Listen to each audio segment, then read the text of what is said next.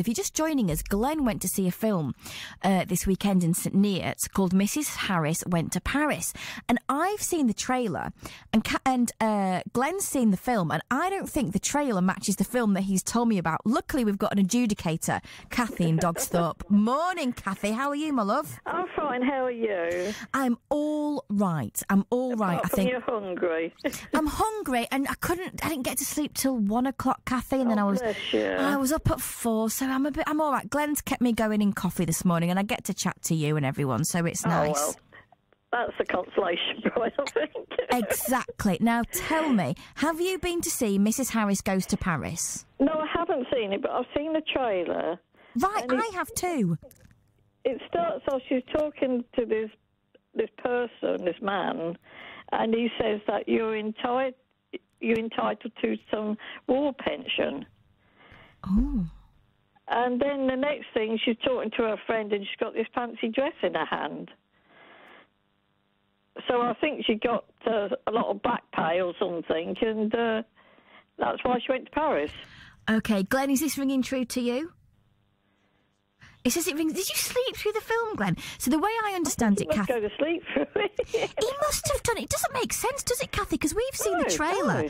and I remember that bit that she was she found out she was entitled to some money, and she's a cleaner, isn't she? She's Yeah, a that's it, cleaner, yeah. and I think she'd been looking after some posh people's houses, and one of the ladies had a dress delivered, and she's like, "Oh my goodness, she spent more on this dress than." Three houses put together, or something like that. Yeah. But she's enamoured by it. Is it like Coco Chanel? Is it Chanel? It's Chanel, I think, Something or like that. It's got a posh name. or Givenchy or like a desi- Paris designer house, that sort of Yeah. thing. And then when she realises she's got some money, she goes, "You know what? Life's too short. I'm off to Paris to buy this dress." Because it's it before the days where the f- fashions from Paris would end up in I mean, House it's of Fraser. one, isn't it? It's sort of in the 1940s or something like that. I think. Yeah, I think was. it's post-war. I think. Yeah, before Um, my time. yeah, and then she and then she went off to Paris, and then she finds herself at a fashion show, or she finds herself buying the dress. Yeah, and she, that's uh, it. And then the the, uh, the or Mr. Armani or Mr. Givenchy or whoever it is is there and meets her, and I think it sounds like she's very impressive, and he gives her a job. But you see, that's what I took from the trailer, Cathy and Mrs. Harris Yeah, goes to Paris. I, I thought, oh, it don't seem very interesting. Oh, Cathy, I beg to differ. I saw that trailer and thought I need to go immediately. So I'm not. Sh- y- Well, it sounds I like don't like things about the 1940s and about war and things like that, you know. So I sort of. Uh, oh, I thought it was about a dress going to Paris. well, you see, now. I'm so I mean, you just get a little glimpse, and I think, oh, you know. Cathy, you've confused me more, love.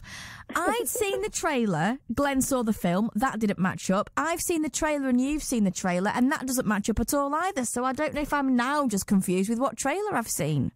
Shall we both go there together?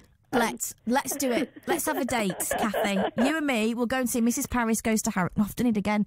Mrs. Harris goes to Paris. Now It's listen. because Glenn did it. He said Mr. Mrs. Paris w- went to Paris.